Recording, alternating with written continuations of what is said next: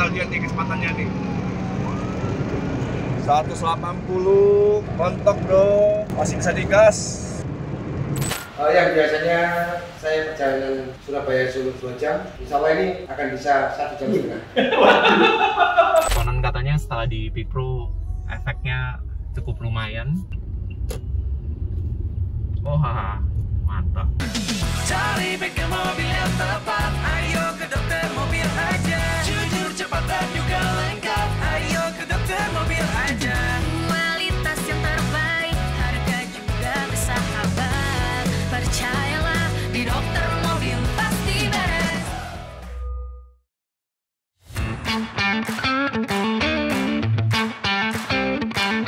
Piggyback Pro itu memang kita develop untuk mobil-mobil di mana tidak bisa di remap. Tidak bisa di remap kenapa sih? Karena ECU-nya tidak support untuk memori. Sehingga ketika kita mau remap itu kan kita harus keluarin nih datanya nih, terus kita edit baru kita injek lagi nih. Nah, itu ECU-nya memang tidak support untuk itu. Makanya kita ciptakan yang namanya Piggyback Pro. Nah, supaya apa nih?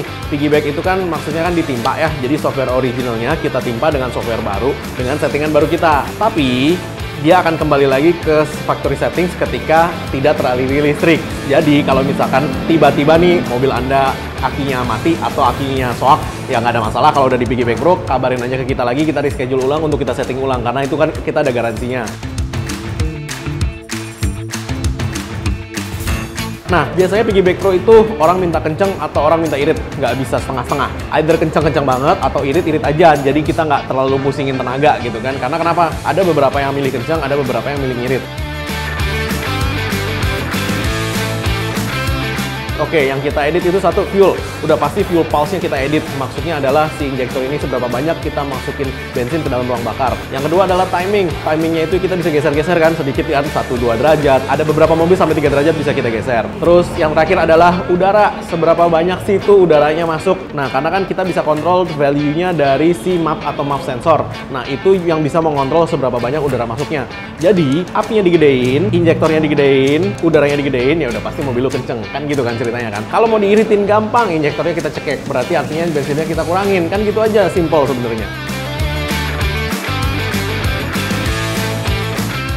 Nah, kenapa kok orang pilih uh, piggyback pro di dokter mobil? Karena orang lain nggak bisa. Jadi kita bisa setting mobil-mobil seperti Avanza, ya kan? Mobil-mobil seperti Terios, itu di mana orang-orang lain nggak bisa, kita bisa. Yang penting ada ECU-nya dan ada colokan namanya colokan OBD2 nih. Bagi yang nggak tahu OBD2 nih kayak begini nih. Nah, itu biasanya ada di bawah dashboard ya untuk beberapa mobil, cuman tempatnya beda-beda ya tiap mobil, cuman dia biasanya bagian ceweknya untuk colokin ke sini.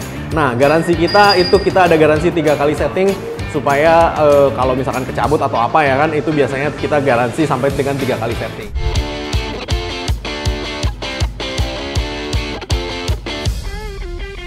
Halo, saya Tanjung dari eh, Surabaya. Ini Wuling Almas ya di T-Pro ya. Ya yang pasti sih kalau di Wuling Almas kerasa di powernya agak agak lemot lah ya. Jadi ada lag-nya gitu. Nah ini pengen nyobain. Konon katanya setelah di T-Pro efeknya cukup lumayan. Ini sih nyoba sekilas tadi masih belum di jalan besar banget ya, tapi cukup responsif dibandingkan sebelum di T-Pro. tarikan dari awalnya Dari tarikan awal lebih panjang daripada yang terus laju mobilnya tahu laju mobil lebih baik, lebih ringan tapi berbobot, tidak apa ya, tidak kelayang ya. gas itu ada isinya Ada isinya dan BBM semakin irit, akselerasi semakin baik.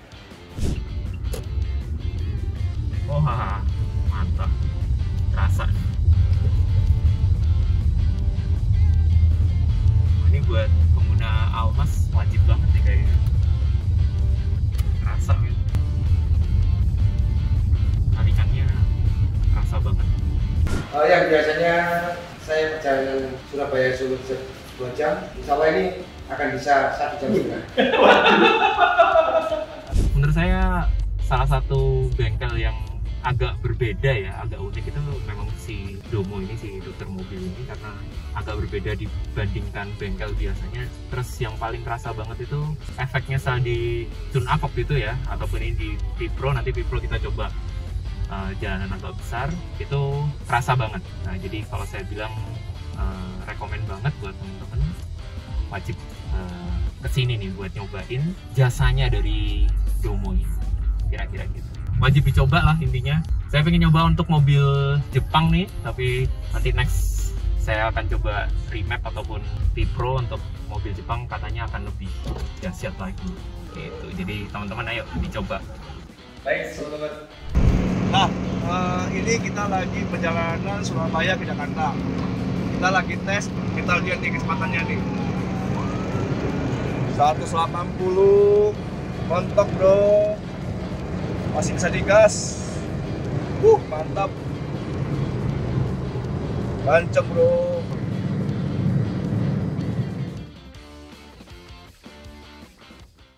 Jangan lupa subscribe, like, dan komen di YouTube-YouTube kami. Thanks.